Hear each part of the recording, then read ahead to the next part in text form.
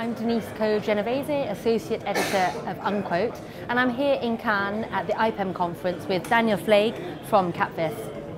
Daniel, in the European mid-market right now, things are becoming increasingly competitive. How, in your opinion, are GPs responding? Obviously, it's not a new trend. We have seen that for many years, that we have seen more competitors coming uh, to the market. And I think for incumbent competitors, you have to be more creative, one, on one side, and second, you have to work much harder with your portfolio companies.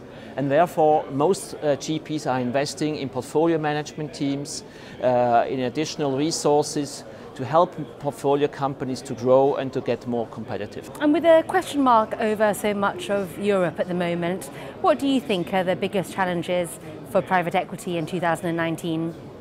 I think 2019 is an interesting year.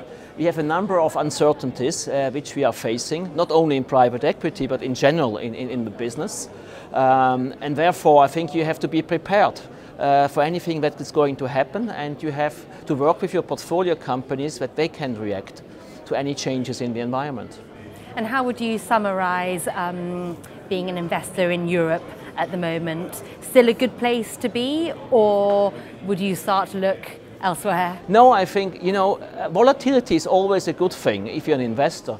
Uh, there's always opportunities you can find, and therefore I also think that Europe has great opportunities.